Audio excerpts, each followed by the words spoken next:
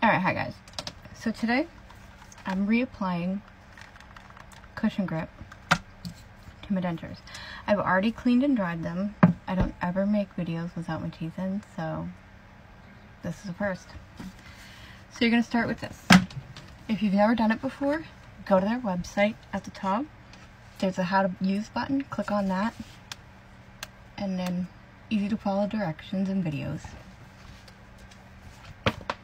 To start, you're going to take this, hot tap water, five minutes. We'll be back. Alright, so now that this has been in for five minutes, you're going to dry it off.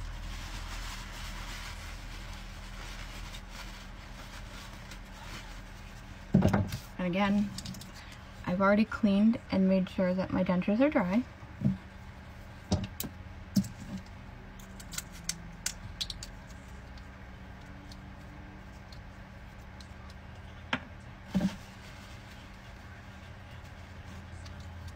Then you want to just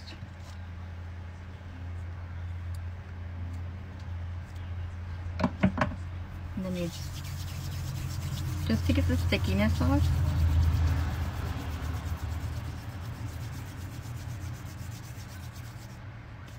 Into like this wormy shape. And I do this on my lower denture because it's partial. And I just probably should do more than that. Let's do more. Hold on. Alright so a little bit more. And it's okay if you have more because you can cut the excess off anyway so. Just stick it in there like that. Make sure I get a good amount in there and on the sides. And then you let it sit for five minutes and then we're going to do the top. Same thing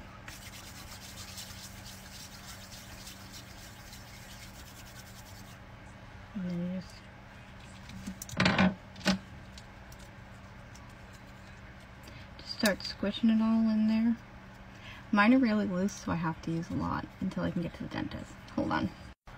Alright, so now you let them sit for five minutes, and then we'll put them in. Alright, so five minutes.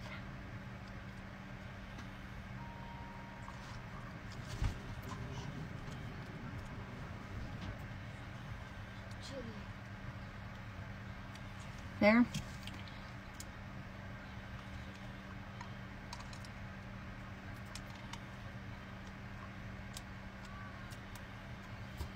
are gonna bite down. And then you leave it in for two hours, take it out, you can trim it, and then put it back in for another two to four hours to cure.